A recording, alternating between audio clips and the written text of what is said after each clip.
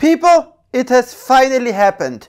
GD Day is upon us. The GigaDevice GD32 VW Bluetooth and Wi-Fi module, which many of us have been waiting for a very, very long time, as you can see here, has just been announced. And in this new video, I want to give you an overview of what we know as of today, as of like 30th October 2023 about this new part.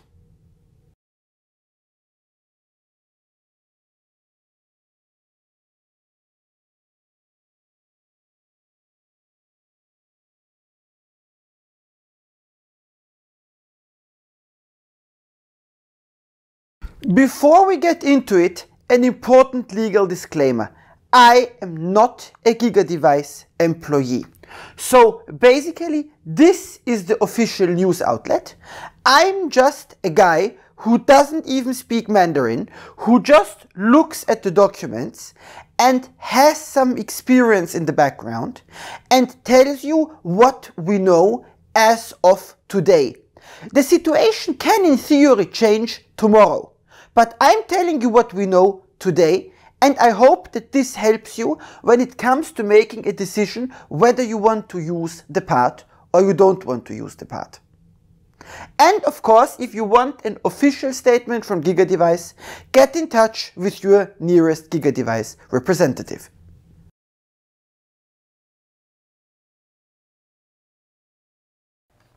So, now let us start out with the most important thing first. Here we see an overview of the chip. It's a single core 160 MHz unit, 320 kilobytes of RAM, 4 megabytes of remnant memory, Bluetooth LE 5.2 and also Wi-Fi 6. And yes, it's available in two different QFN packages. And as for the various available housings, we see here there are multiple different versions and we get either 21 or 28 GPIOs depending on which size we select. You see here that there are multiple different versions. What is important when we talk about the memory is I would never glue myself too much to the topic here because as you see here, this is the GD32, that's a slightly different part. And you see my friend Richard Kausler, whose website I by the way really recommend, you see he tore down one of these parts and you see here they literally have a second part on top of it. And with GigaDevice having this incredibly strong flash memory division, probably they are easily going to be able to offer a version with more memory if a significantly large customer shows up and wants it.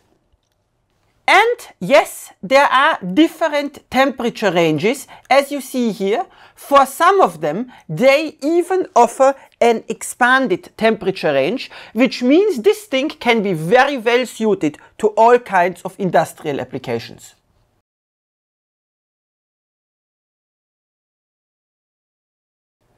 And the next interesting question is what processor we are going to get and we see that GigaDevice once again decided to go with Nuclei and we get an N307 which supports these instructions which we see here. So it's a 32-bit RISC-V core, but as you remember from my RISC-V FAQ video, there are also some added options, and this is the list of options which you get with this chip. And yes, you see here, there is an FPU, there is an MAC, and there is also DSP if you want to do some kind of number crunching with the thing. And as usual for GigaDevice, they of course also give you all kinds of additional functions. You see here, you get a CRC unit, you get a random number generator, and then you also get a relatively wide complement of accelerators for all kind of cryptographic jobs. Here you see the CAU, here you see the HAU, which accelerates hashes, And then finally, there is also a unit for public key cryptography. So basically all of these allow you to offload algorithmic work from the main core to accelerator chips.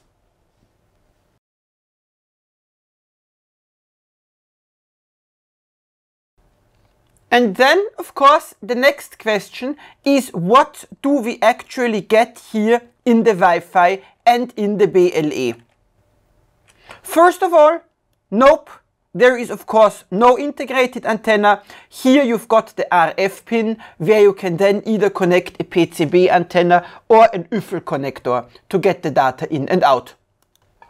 And now we are back in the datasheet to look at what we actually get. We see here, these are the supported Wi-Fi standards. And of course here the information on the FU.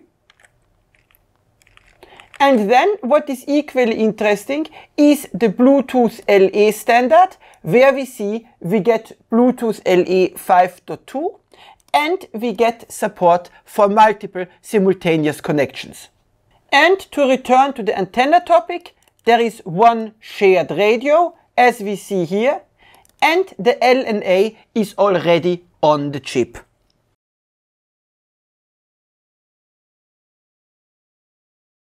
And now the next interesting question is how the development tools will be provided.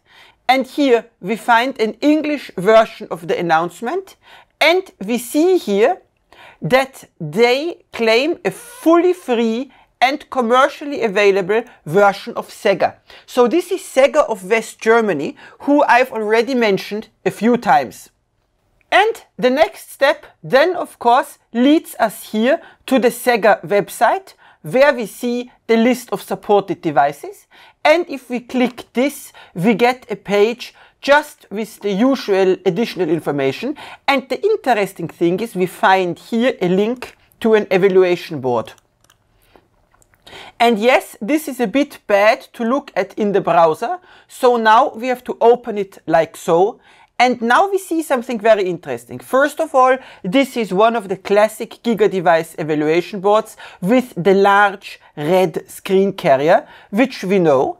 And the interesting thing is this. If we look here, we see the chip and then we see around it a module. So it is very possible that GigaDevice might also offer a module, an ESP32-like module with the part, but in the past these modules often were one-off jobs, so as of now there is just no way to tell this for sure.